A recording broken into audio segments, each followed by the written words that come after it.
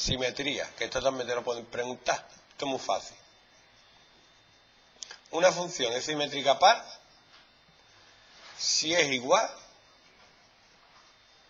si la doblo por el eje Y.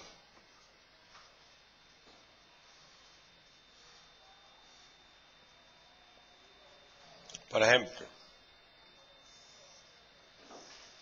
esta parábola es par.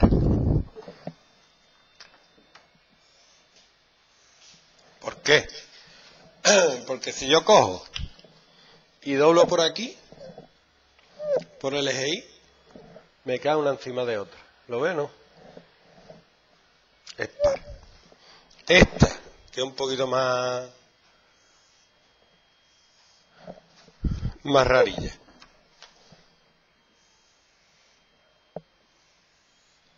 También es par. Pues si yo doblo esto por aquí, me cae justo aquí encima. ¿Vale? Esta que voy a dibujar también va a ser par. De hecho, para dibujar una función par, yo lo que hago es mirar a un lado y hacerlo igual en el otro. Ojo. Igual, igual. No igual como lo he hecho yo. ¿Vale? Es par. Pues si yo le doy la vuelta a esto, me cae justo aquí encima. ¿Vale?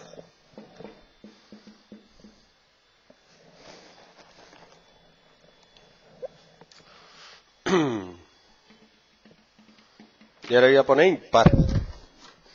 Una función es impar si es igual, si la doblo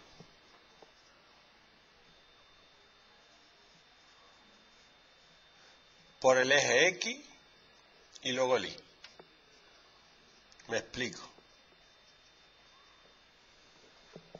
Vamos a ver.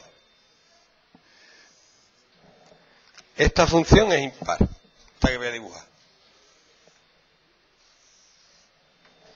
Esta. Porque si yo la doblo así y luego la doblo así, me cae justo encima.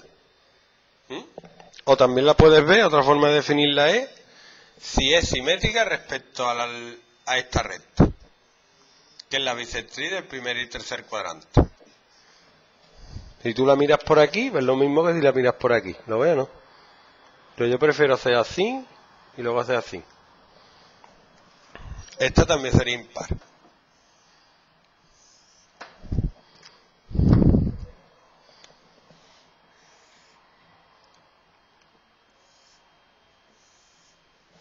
¿Vale? Si le doy la vuelta por aquí y le doy la vuelta por aquí, me cae encima. ¿Mm? ¿No veo, no? Esta es igual que esta, pero esta es par porque está en el mismo lado y esta es impar porque está abajo. ¿Mm? Fíjate, esta es igual que esta, pero esto está para abajo. Es impar.